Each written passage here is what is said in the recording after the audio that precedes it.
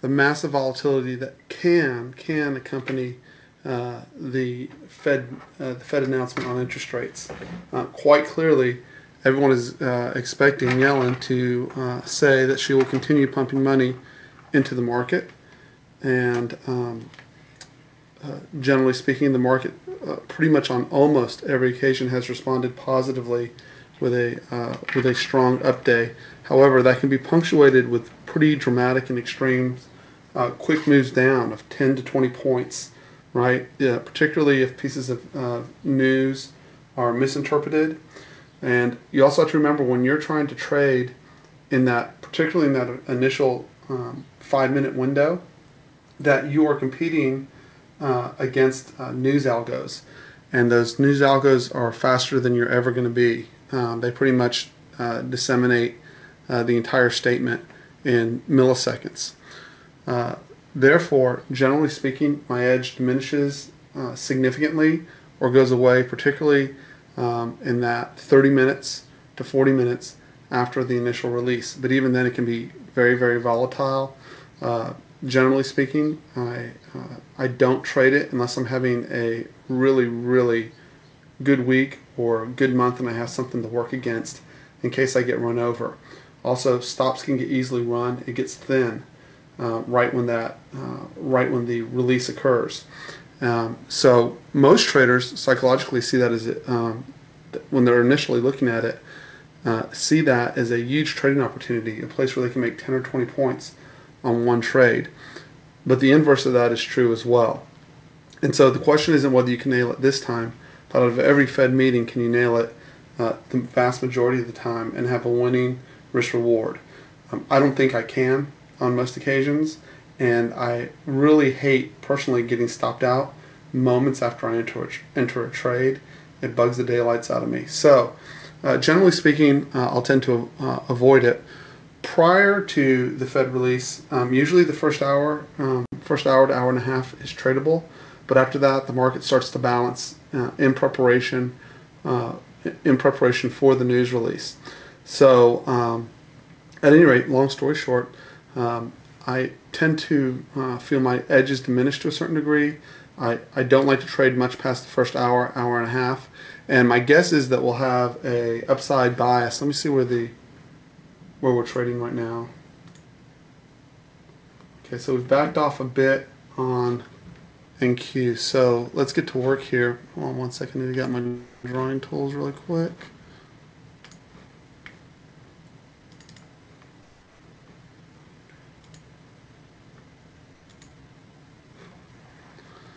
Okay, so uh, currently trading 1865 and three quarters. We had a relatively narrow range overnight, so I'm going to expand this.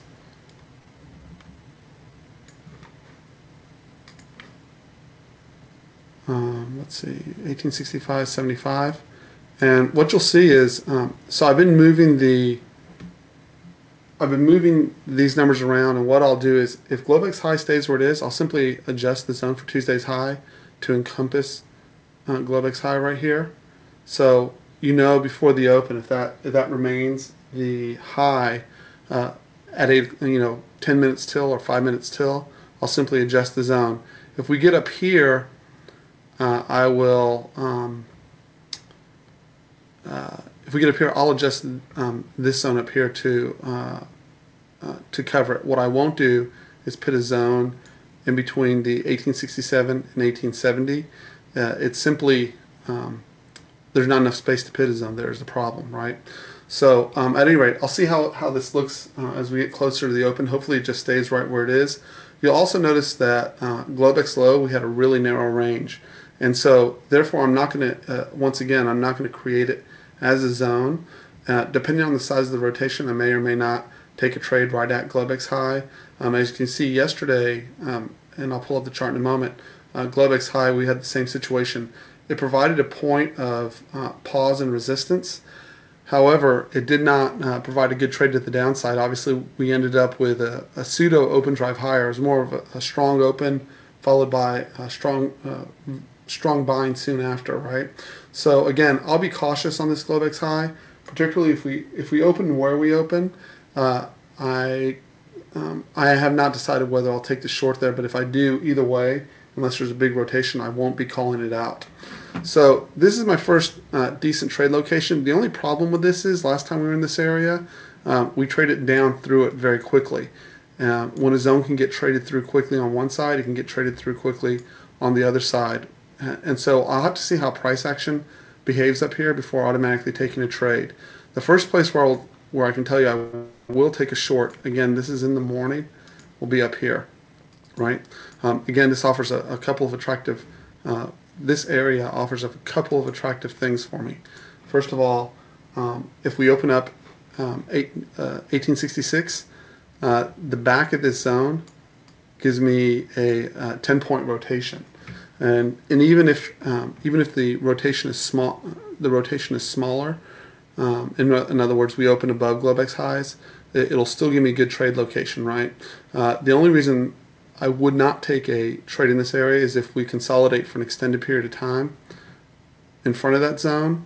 That would be the only reason that would make me pull this order. But somewhere between middle to back of this zone, uh, I'll be placing an order uh, to take a short side trade. Also, I'll want this trade to work again in a fairly reasonable amount of time. I'm fine to continue break even on these trades when I'm taking contra trades when we're moving up so strongly. Also consider the time. If you'll look at yesterday's uh, time frame, we, we reversed right at 9:30 a.m.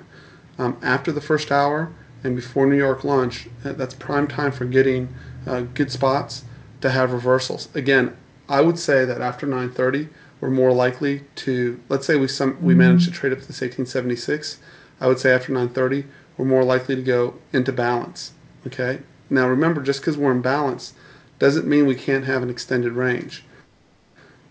What that means is we can get up here and we can rotate all the way back down to test Globex high and then come all the way back up. It can be a 10 point range up and down uh, or a 9 point range. It can also consolidate like this if we trade through this zone, which is a possibility, I want to point this out in the morning. If we trade through this zone without getting any kind of pause in here or rejection lower, uh, we can just as easily uh, trade through here on the way back down.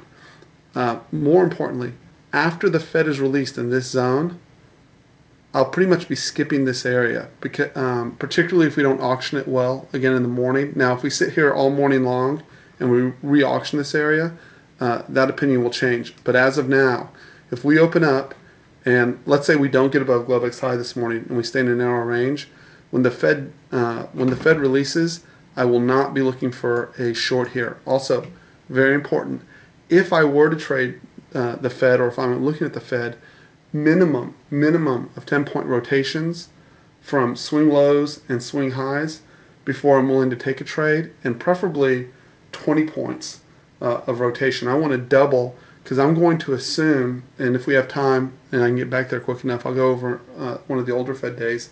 I'm going to assume we're going to double our, or potentially double our range. Now, what that means is normally we have, uh, we've had lately on a quiet day 10 to 20 point ranges.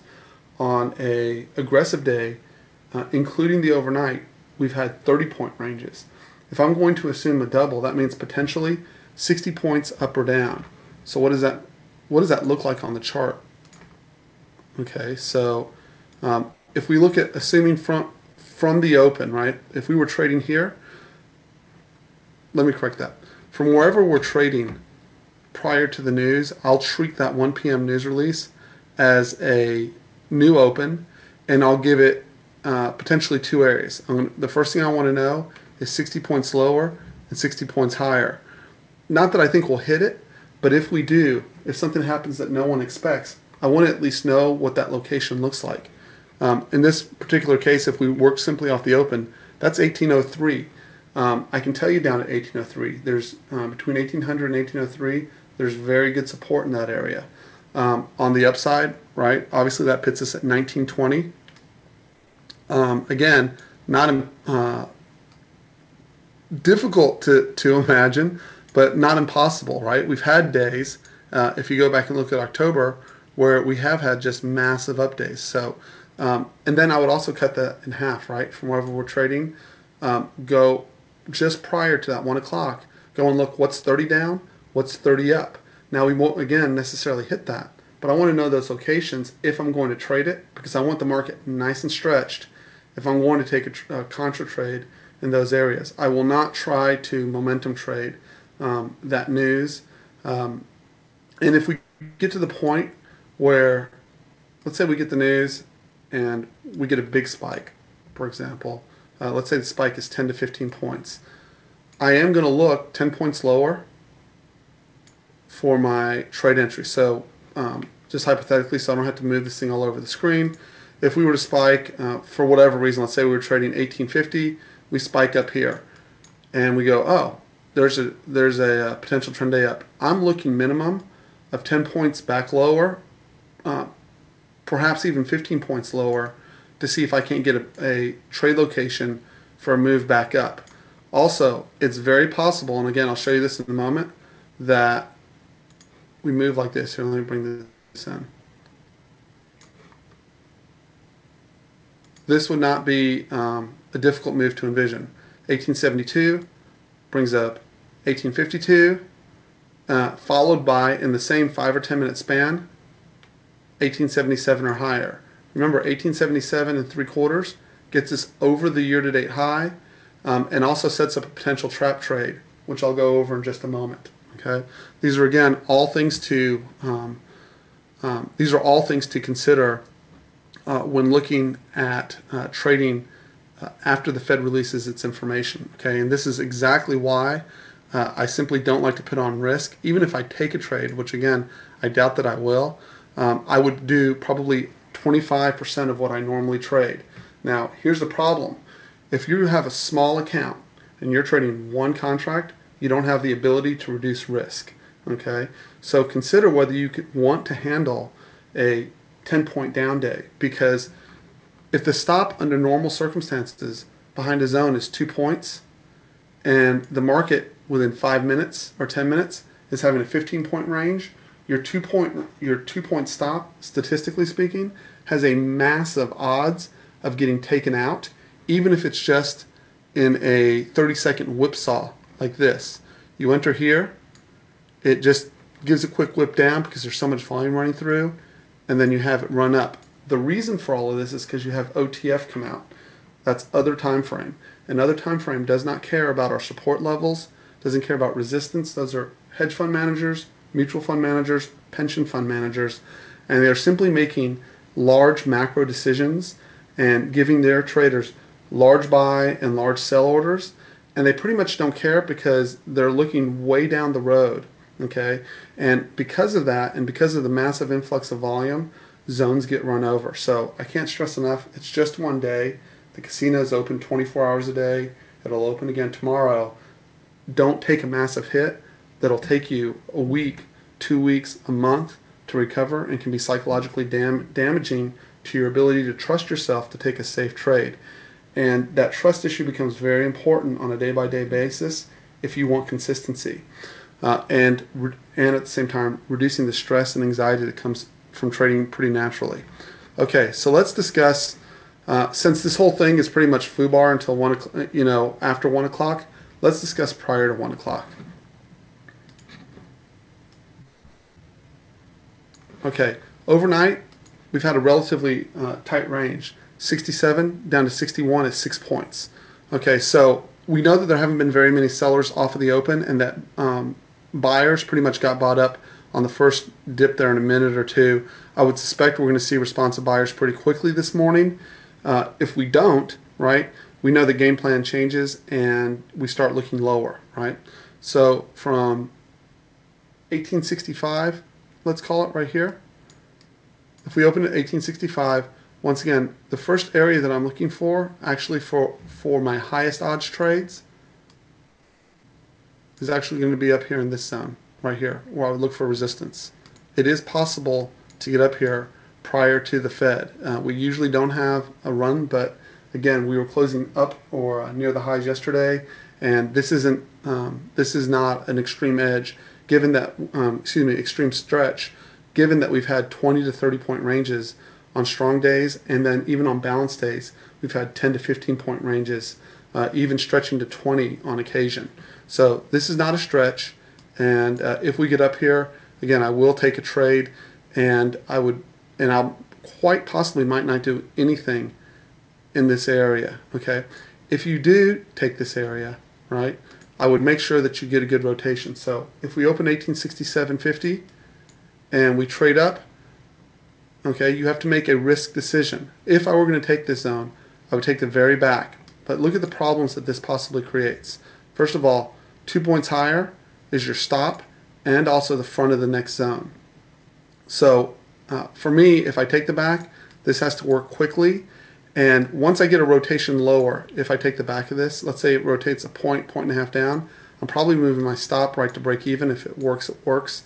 If it gets stopped, oh well. But but mentally, it is very difficult for most traders, particularly newer traders, to take a trade here, not get a two point rotation, then come right up here, get stopped, right? And then have to take the trade. Usually, what that results in is that they skip this zone. And this zone is stronger than this zone today. Okay, so that's my two cents on that. Um, above that, right, and just behind here, we have a uh, we have the year-to-date high. So what does that mean? That means if for some reason we're trading above 1877 when the news comes out, there's nothing above here besides exhaustion points to stop us from rolling higher. When you take that into consideration, and you add that we have OTF coming out to play, um, there can be a large upside move in this thing, larger than most people I think anticipate, because there will be no uh, automatic resistance coming in.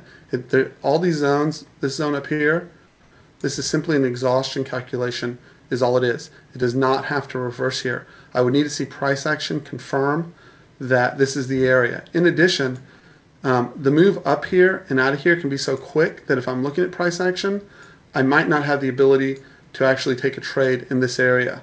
So my my better trade out of this area or up here would be rotations of 10 to 15 points lower if we do break up here, looking for rotations back up from that rotation down as opposed to standing in the way of a um, as opposed to standing in the way of OTF driving this higher. Also, you got to consider cash as a position as far as institutions are concerned. Um, I do not know, I don't think anyone knows, how much cash is on the sidelines. But if you look at um, last year's performance, those guys haven't forgot the ones who stayed in cash. A lot of people, including myself, uh, assumed that we would have a rather uh, uh, go back to a normal plus or minus minus six percent year. But if we get above these highs year to date, that memory of getting smoked to the upside um, and given the strength of the move uh, that we've had to the upside, right? We've barely been able to get any 2% is the correction we've had since uh, February. We've had one 2% correction. It essentially lasted a day and a half. Um, so looking at that concept, right? If you're, there are not many professional shorts still short. If they are still short, we get above year to date, those guys are going to be one of the first to cover. Second, cash is a position. Cash, if we get to new year-to-date highs, those guys in cash, um, they'll try to be as patient as they can, but those guys have a breaking point too, right? Most managers are not great traders, um, and so they will throw if they decide that that being long cash is effect being short the market, right? Because they're they're underperforming. You could end up with a cash short squeeze up to the upside. Okay, so keep that in mind when you're trading after one o'clock. Obviously, I do not think we're going to get up here uh, prior to 1 o'clock at all. Okay, so areas of traps on the upside. I want to cover this very quickly. In the morning, once we trade above Tuesday's high, which is right here, and Globex high, which is right behind it, right? If we trade up and we close on a five minute bar here or higher, and then we proceed to trade beneath Globex high and Friday's high, okay? and then we do not close back above, that would be the strongest way to get a um, that would be the strongest way to get a trap trade. That would create a move to the other side of the range.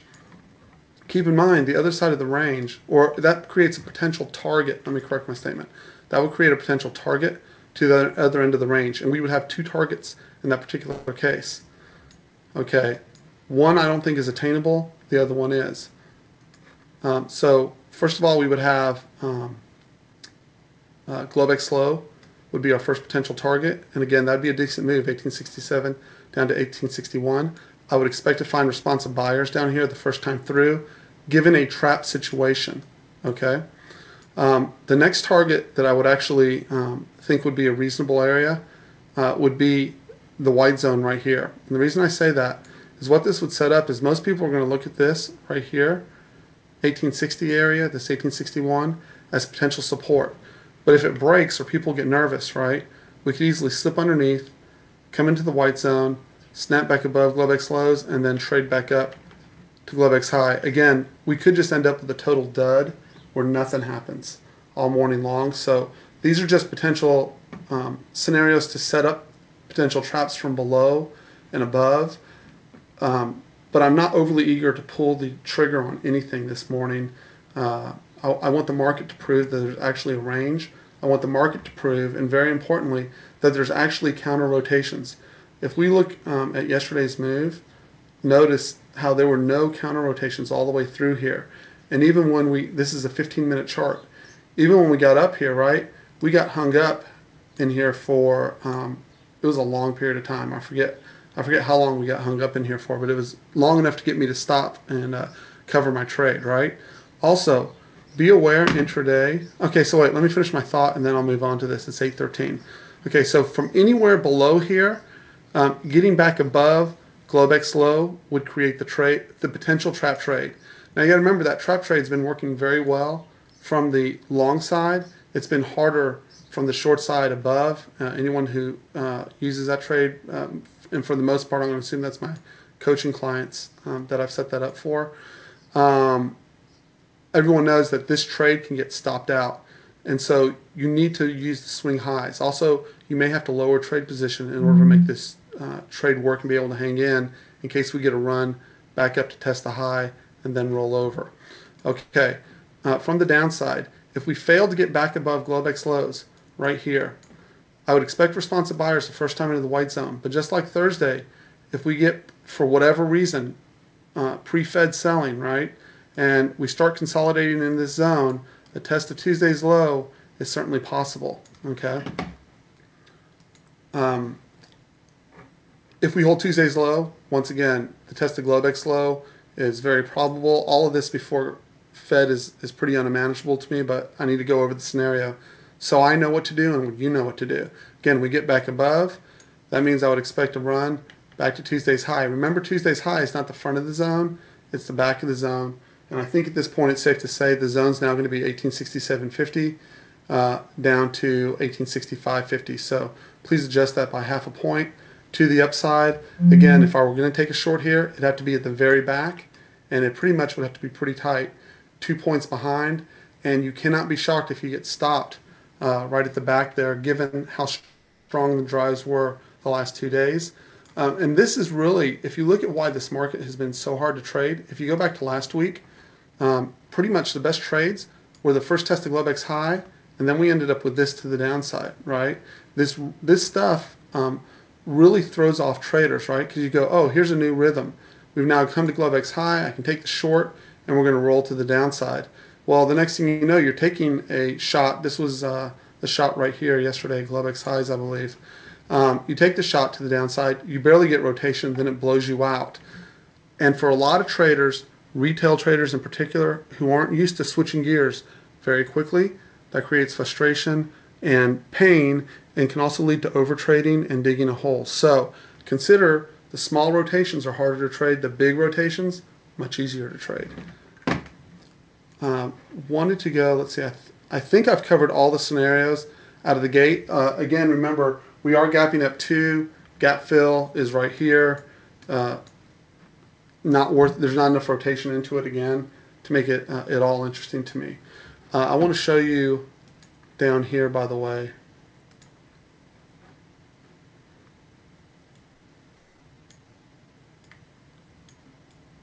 This area, okay, our first open gap is all the way down here at 1832. If we were to get down here again, particularly on a huge rotation, I'm actually willing to lose money uh, on Fed news in this area. My stop would be the same, two points behind. Um, uh, consider if this is a straight drive down into this area, all bets could be off. Also, consider if we're whipping very hard, very quickly. Basically, you end up with that in a very short period of time, right? You may want to consider cutting size in half and doubling your stop, and even then, it may not be enough to save you to stay in the trade. We could easily blow through here, come back up, and go higher. Also, below this 1833.31, there's a lot of uh, poorly auctioned area. Also, this area from really below initial support all the way down to this open gap is relatively well it's actually it is poorly auctioned area right? What does that mean? A poorly auctioned area can get very quickly traded through till we get to support. Now once it gets traded through we can rotate back up what does that mean it means in a fast market this zone 1839 to 1837 and a quarter to 1839 and a quarter is suspect to get blown out the rotation will clearly and you notice I left plenty of room between zones the rotation should be enough to get a pause at this area, okay? But don't be shocked if, uh, if we get one of those quick rotations and the second time down it busts for move down to support. Also, do not be surprised if we get into support, especially if it's a flash down and we reverse all the way back up. Okay, if you go back and look at the Fed uh, Fed day in November, uh, that was certainly the case where we rotated lower very quickly and then shot up. Um, I don't remember the last Fed release, so I'm going to go see if I can find it really quick. Uh, so mark on your charts this area in between these two points uh, can be very slippery and that's why there's so few zones in here. I want to make sure that I get nice fat stretches before I take a trade here. I would rather see um, a trap trade take a place. Also, first hour highs and lows, watch for those uh, today if we have a wide range uh, for support. Um, Okay, I think I covered ES well enough. Everyone should have a good idea of both pre-market, uh, pre-Fed, and post-Fed. What? How am I doing on time? 8:19. Quickly, wanted to go to this chart here, very fast. Okay, this um, 1845 to 1840 is halfway. Let me remove this fib. Well, let's here. Let's cover color it. This is halfway back from this swing mm-hmm. low to yesterday's high. Okay, this uh, this is also a potential area of support. I'm pretty sure I put a zone right in here. I would expect buyers somewhere in here, right? And keep in mind, this is 1845. This is 1840.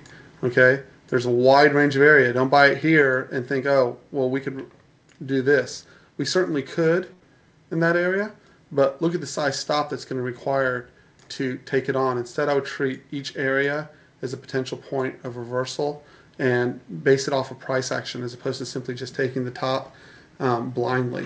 Okay, the second thing I want to point out here. Let's see, let's, we'll just put that zone there.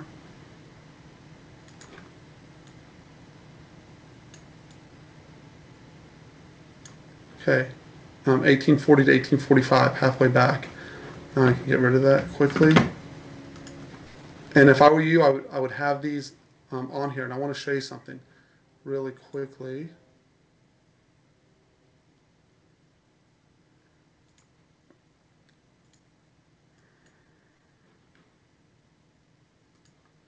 Okay.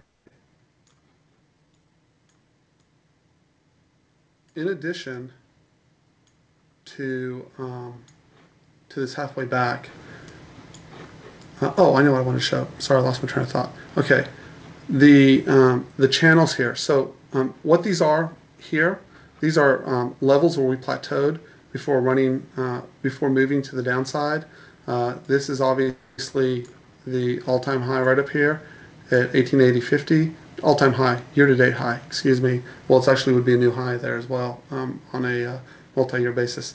Um, uh, let me get, uh, let me finish this thought process. Okay, so you, you, can see how we held these channels for the most part, but you can see on the bottom how we can break out of these channels. then break back into the channel and make an attempt to trade to the other end, right?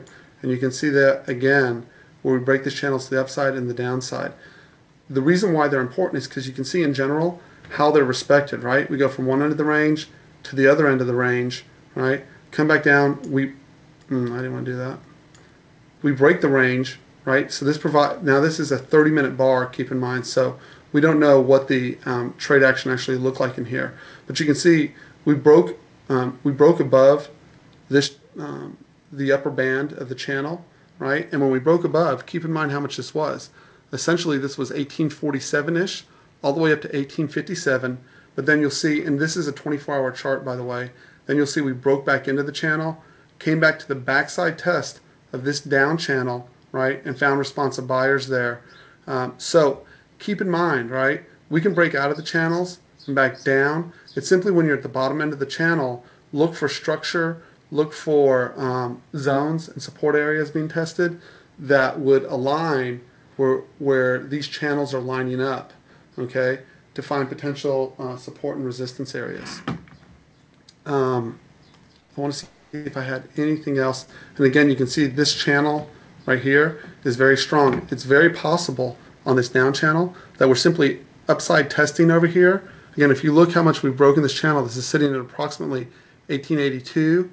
Um, if we had a 10 point stretch like we did here, we could trade all the way up into 1772, even 75, and uh, A, still be within the channel, uh, but also fall back into this channel and trade back to the other end of the range, or even fall out and come all the way down for a backside test. All this does is kind of give me a clue that right now buyers are in control. It's easier to the upside, and I'd want to see this channel broken certainly before I got big fantasies of us rolling down to the downside. Of course, this bar is the Fed announcement as well because, again, we can just simply break it. Um, I want to see if, um, oh, one more thing. On. I would also go, by the way, to a day time frame. This is a 24 hour chart.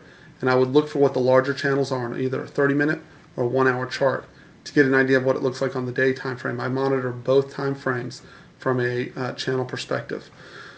Uh, let's see if I have NQ here real quick. I do.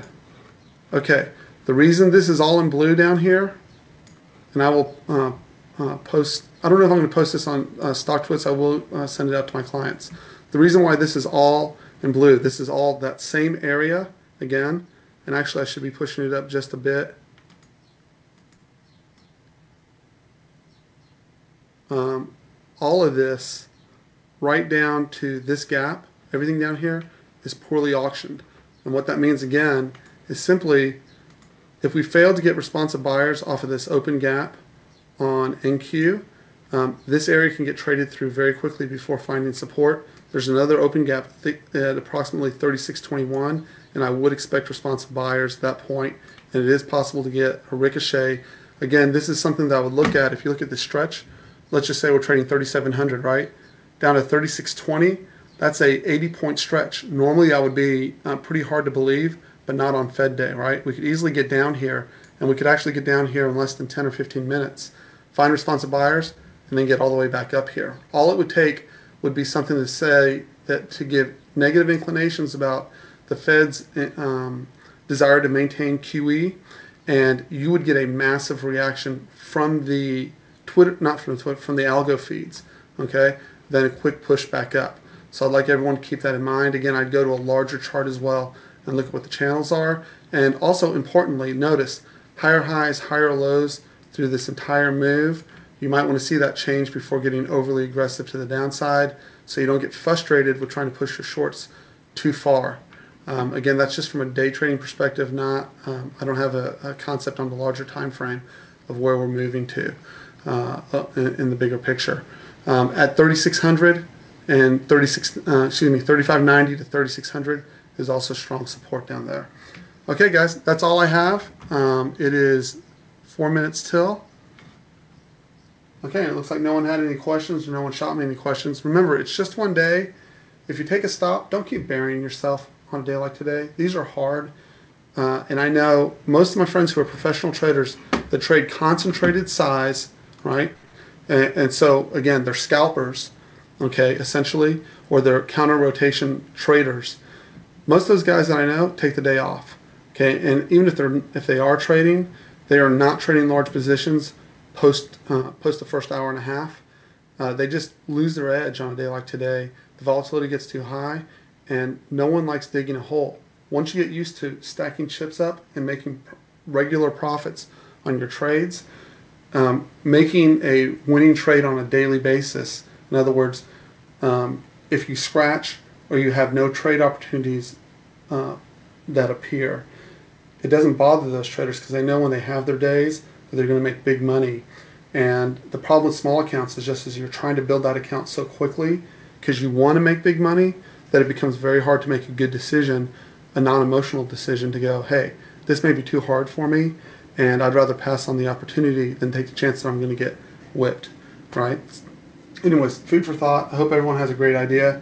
My name is Simon. You can reach me at tradingperform at gmail.com, and uh, have a great day. See y'all.